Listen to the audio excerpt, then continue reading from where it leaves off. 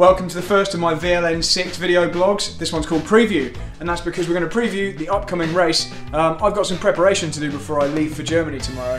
I'm going to drive on my simulator, do a little bit more practice, we go out on my bike as well, maybe go for a run, and I've also got to pack the car. And the car we've got for this round is a little bit special. So Peugeot UK have lent us this beautiful 508 GT. We've got 180 horsepower with a diesel engine, automatic importantly, with automatic pretty much everything, every single gadget you can imagine, including heated massage seats, which I'm looking forward to using on the journey.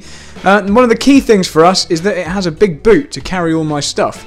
So if we have a look around the back here, it certainly has that, and I'm going to start packing it with all of my race equipment right now.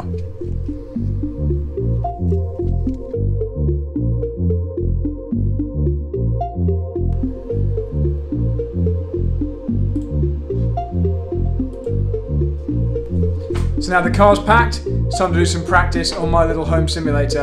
And obviously we're going to be driving on the VLN layout of the Nürburgring. Um, we're going to be doing it in a GT3 car, because why not? If you're wondering what all the green stuff around the pod is, um, that's because we're doing some green screen footage from my YouTube channel, so feel free to go and check that out.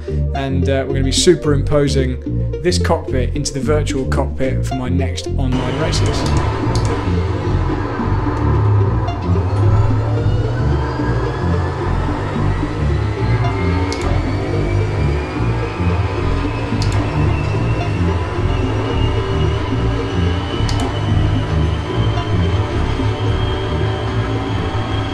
So I've taken a ride out here to one of my favourite mountain biking spots in Bedford um, to talk to you about this upcoming weekend. Um, it's a very changeable day here in terms of weather in the UK. It looks like it's going to be the same out at the Nürburgring. Um, it could be beautiful and sunny, it could be very stormy, uh, but whatever happens, we've got a bit of a fight on our hands. We're battling with the Matilda Golf. We've also got the Astra TCR car. Um, looks like maybe a couple of Audi RS3s as well. So I'm feeling the best I have done in ages.